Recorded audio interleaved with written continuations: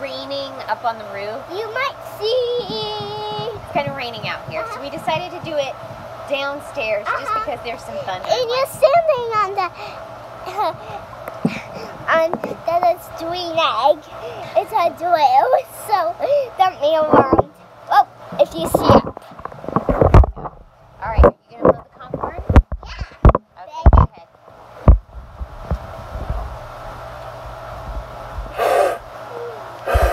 Can't do it. You do it. All right, that was very good. Okay, here we go.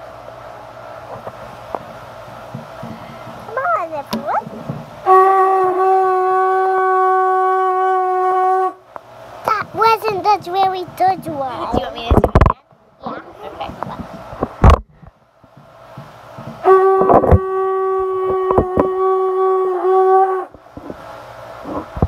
All right, thanks for tuning in. Sweet. Bye.